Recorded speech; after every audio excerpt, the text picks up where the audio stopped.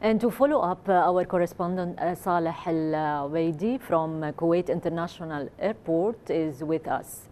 Uh, Saleh, as uh, the Kuwait International Airport is still receiving flights with Kuwaiti citizens on board, uh, how many flights arrived so far, and uh, how do you describe the current situation regarding the state preparations?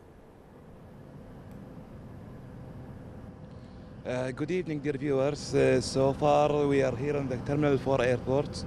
And uh, so from the uh, morning until uh, now, we have received around 19 flights as part of the Repatriation Act of returning the Kuwaiti citizens back to Kuwait. And they're expecting to have around 28 flights by the end of the day.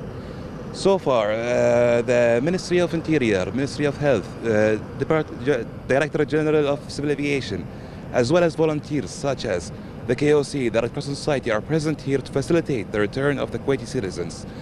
With me now is the Emergency Management Coordinator for the Department General of Civil, Civil Aviation, Mr. Abdullah Al-Jraisi. Welcome. Thank you. Uh, So can you tell us more about the safety measures that are taken by the Department General of Civil Aviation to facilitate the safe return for Kuwaitis? Yes, uh, the Director General of Civil Aviation uh, has been working uh, in close uh, contact with uh, all of the ministries uh, that are in direct response to the evacuation of all of the Kuwaitis coming back to Kuwait.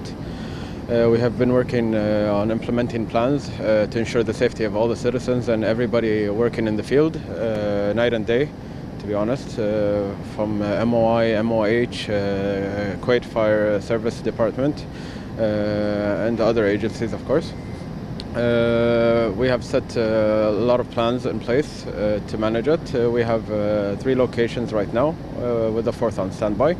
Uh, our location currently is uh, at Terminal 4, which is a test facility, uh, basically uh, to, to test all of the passengers to make sure that uh, they are safe. And uh, if some people show symptoms, uh, we have procedures set in place uh, to take them to quarantine.